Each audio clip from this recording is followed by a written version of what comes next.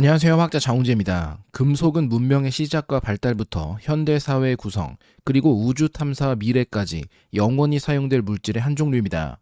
하지만 지구에서 인간이 채굴할 수 있는 영역은 지각 일부에 불과하며 금속마다 매장량과 분포가 달라 희소성과 고가를 계속해서 우려하기도 하죠. 오늘 이야기는 금속을 채굴하는 흥미로운 방식인 파이토 마이닝에 대해서입니다. 인간은 지각에서 채굴한 광석을 고온 환원 조건에서의 정련을 통해 우리가 활용할 수 있는 금속 형태로 가공합니다. 당연히 어마어마한 양의 에너지 소모와 이산화탄소 발생이 동반되는 작업일 수밖에 없습니다. 고전적인 채광은 지각 내부로 파고 들어가 금과 은을 비롯한 귀금속이나 철, 구리, 니켈 등 유용한 금속 원소들을 지표로 가져오는 작업입니다. 하지만 환경적으로 선호되지 않고 매몰 위험성이 존재하며 무엇보다 쓸만한 광산의 매장량이 점차 감소하고 있어 새로운 시도들이 시작되었습니다. 그 중 하나는 몇 차례 소개한 적 있던 도시 채광입니다.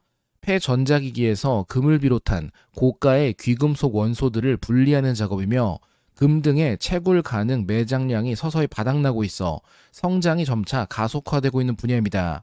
그리고 오늘 소개하려는 방식은 완전히 새롭고 환경적으로 유익한 식물 채광입니다. 이름 그대로 식물을 이용해 온갖 금속을 채광하는 기술이죠. 식물은 생장을 위해 여러 영양소를 토양으로부터 흡수합니다. 질소와 인, 포타슘이라는 가장 중요한 세 개 원소 외에도 칼슘과 마그네슘, 황의 흡수, 그리고 철이나 구리, 아연, 망가니즈 등 여러 전이금속 원소도 필요에 따라 몸에 축적합니다. 이러한 화학 원소의 흡수와 축적은 식재료로 활용되는 식물에게는 위험성이 되기도 하죠.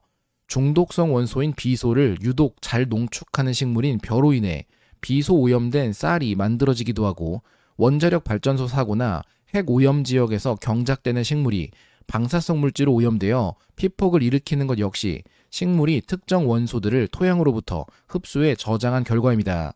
그렇다면 조금 더 유용한 방식으로 이 기능을 활용하는 것도 가능하겠죠. 식물은 토양에서 이온 상태로 녹아있는 금속 원소를 흡수하며 줄기를 따라 이동시킨 후 구연산을 비롯한 킬레이터로 잡아 독성을 줄여 저장합니다. 만약 특정한 금속 원소를 농축하는 식물을 찾아내 금속 오염 토양에서 경작한다면 이를 다시 회수하는 것도 가능하지 않을까요? 특정 물질을 일반적이지 않은 수준으로 체내에 저장하는 식물을 초축적 식물이라 부릅니다. 대표적인 예로 뉴칼레도니아 지역에서 발견된 피크난드라 아쿠미나타는 청록색 수액을 갖는 것으로 유명합니다. 건조 수액 중량 기준으로 무려 25%가 니켈로 이루어져 있기에 푸른색을 갖게 되는데 주성분은 구연산을 이용한 독성 완화와 저장을 사용했기에 구연산 니켈에 해당합니다. 이가 니켈 이온으로 인해 특유의 청록색을 보이게 됩니다. 몇몇 식물은 발화 단계에서 잎에 다량의 니켈을 농축하는 일도 의외로 발견되는데 소형 초식 동물은 독성 니켈 이온을 선호하지 않기 때문에 자기 보호를 위한 진화 결과로 볼 수 있습니다. 조금 더 체계적인 연구가 이루어진 니켈 초축적 식물로 리노레아 니콜리페라라는 필리핀 루손 섬에서 발견된 식물도 있습니다.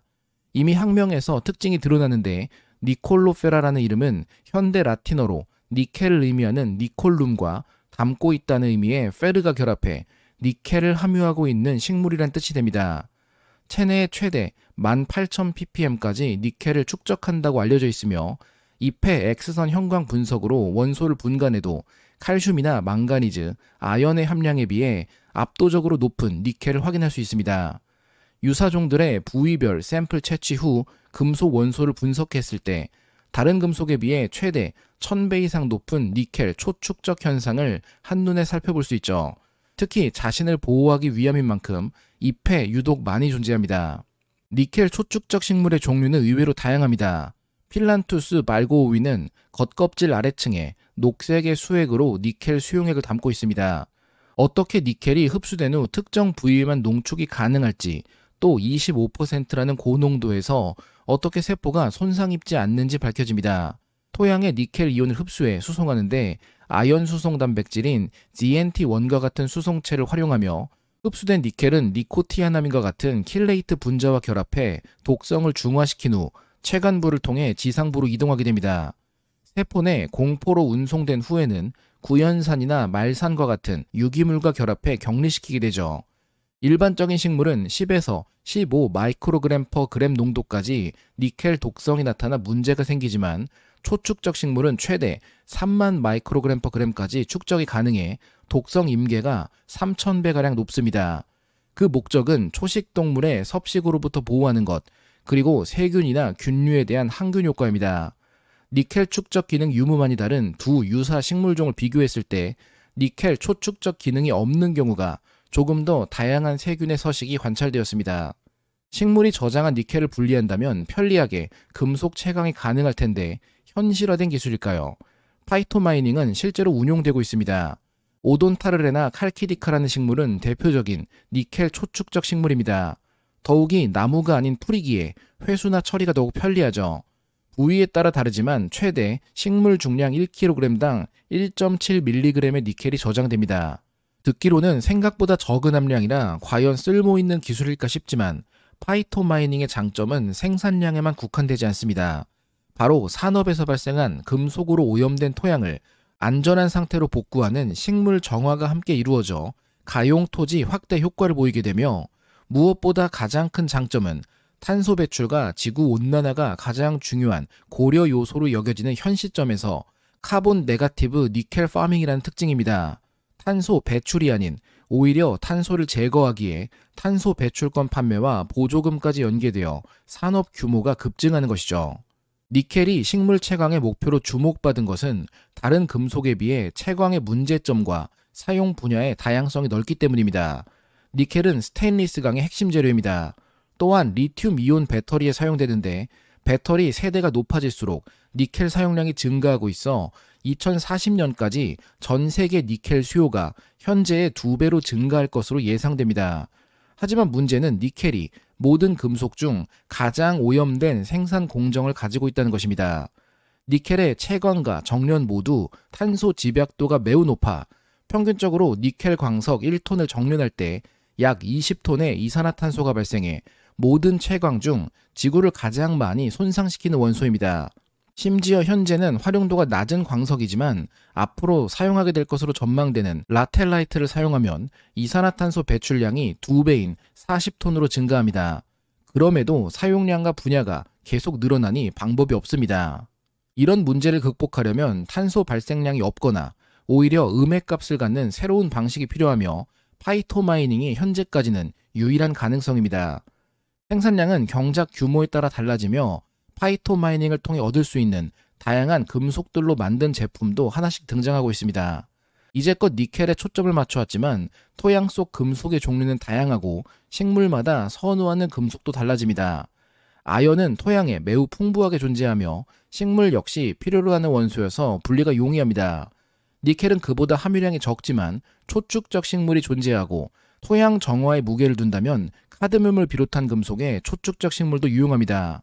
심지어 귀금속인 금을 축적하는 경우도 있고 고갈 위기 원소인 코발트는 극미량이지만 토양에서 분리가 가능합니다.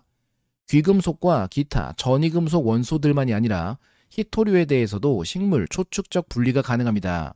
희토류는 존재량 자체가 적다기보다는 토양에 넓게 흩어져 분포하기 때문에 분리와 정제가 어려운 원소들입니다.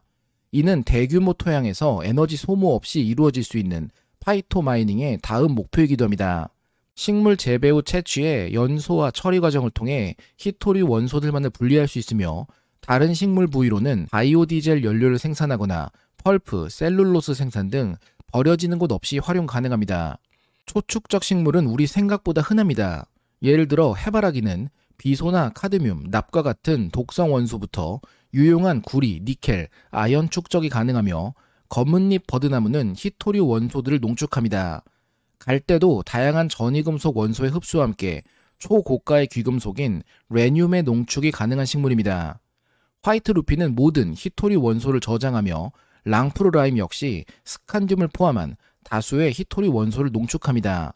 갈풀은 란타넘과 세륨, 네오디뮴, 이트륨, 그리고 프라세오디뮴에 선호를 보이고 미국 자리공은 희토류를 농축합니다.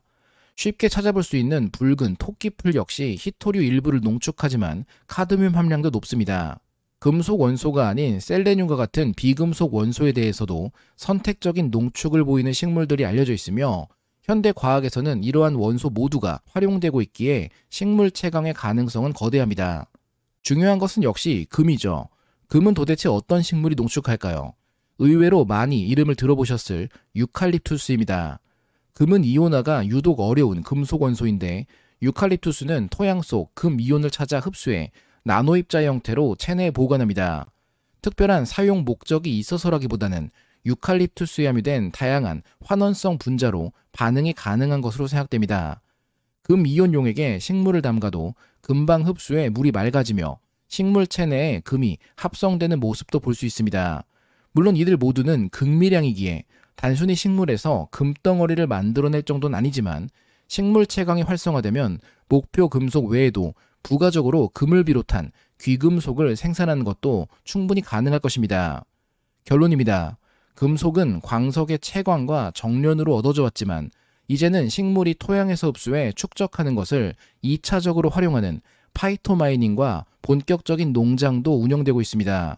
파이토마이닝의 가장 큰 장점은 에너지 소모가 없고 탄소 배출량이 마이너스여서 환경에는 긍정적인 영향만을 준다는 것입니다. 아직까지는 니켈이 주된 생산 금속이지만 히토리와 금을 비롯해 다양한 전이금속들 역시 분리 목표에 놓였습니다. 고전적 채광에서 도시광산으로의 이동이 본격화된 만큼 조금 더 시간이 흐르고 오염 정화 중요성이 커지는 시기부터는 식물 채광이 새로운 패러다임이 되지 않을까요?